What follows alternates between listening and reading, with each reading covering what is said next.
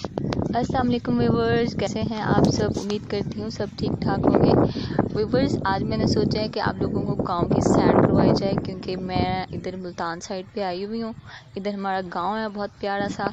तो मैंने सोचा कि मैं अपने फ्रेंड्स को, व्यूवर्स को भी गाँव की सैर करवाऊँ। तो आप मेरे साथ रहिएगा, ठीक है? इधर कच्चे आम हैं वेजिटेबल्स हैं और गंदम की कटाई भी हो रही है। तो आइए देखते हैं। आप मेरे साथ रहिएगा और इन्जॉय कीजिएगा।